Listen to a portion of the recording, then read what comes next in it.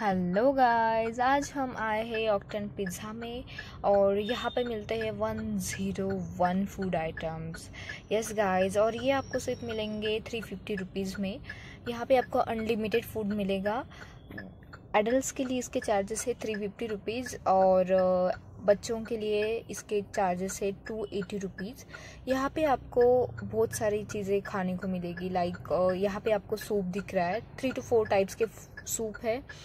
फिर आपको दिखेगा पानी पूरी यहाँ पे है चैट फिर noodles three two four types के नूडल्स है. फिर शेजवान राइस है.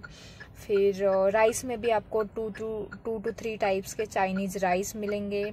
फिर आपको मिलेगा पानी पूरी फिर भेल। चाट में भी आपको बहुत सारे ऑप्शंस मिलेंगे।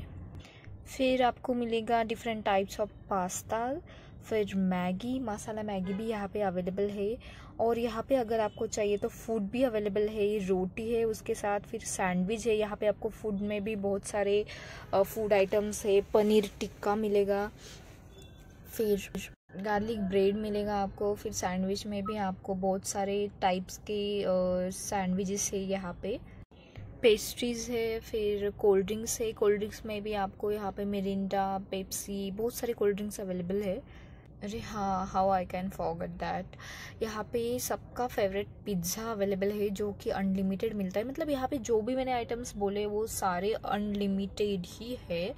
और इसकी फ़ूड क्वालिटी भी अच्छी है। ऐसा नहीं है कि मैंने बहुत सारे रिव्यूज़ देखे थे तो उसमें ऐसे बताया था कि फ़ूड क्वालिटी अच्छी नहीं है बट थ्री फिफ्टी के हिसाब से बहुत ही अच्छी फ़ूड क्वालिटी है। और हाँ यहाँ पे आपको मंचूरियन भी अवेलेबल है। इडली, डोसा, ऐसे इटालियन फूड्स भी अवेलेबल है। मैंने बहुत सारे आई थिंक फ़ूड आइटम्स के नाम नहीं लिए हैं बट कई सारे फ़ूड आइटम्स अवेलेबल है। और ये जो है प्लेस ये पुणे में ही है और मैं आपका, आपको इसका एड्रेस जो है वो डिस्क्रिप्शन में दे दूँगी। So stay tune for new videos guys bye take care happy new year